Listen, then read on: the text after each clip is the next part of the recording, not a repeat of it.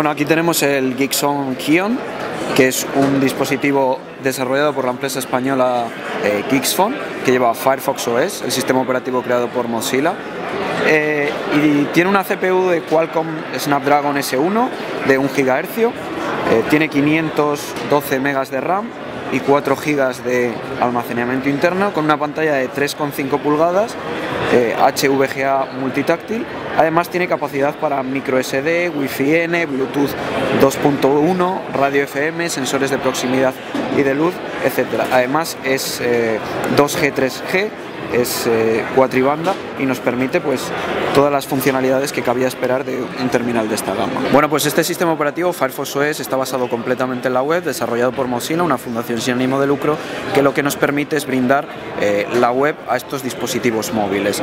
Además, podemos acceder a todo tipo de aplicaciones que ya estamos acostumbrados en otro tipo de dispositivos, ya sea Facebook, Twitter, etcétera, y nos permite adquirir aplicaciones de una forma muy sencilla, ya sea a través del Firefox Marketplace, haciendo una compra de una aplicación o adquiriendo las aplicaciones gratuitas que están eh, disponibles en, en el Marketplace. Por ejemplo, aquí podríamos hacer un pago de una aplicación comprándola y ya la tendríamos instalada o tenemos una posibilidad muy innovadora que es la búsqueda dinámica de aplicaciones que lo que nos permite esta búsqueda dinámica de aplicaciones es buscar un tema que nos interese por ejemplo, buscaríamos eh, Skyfall, Skyfall, la película, ups,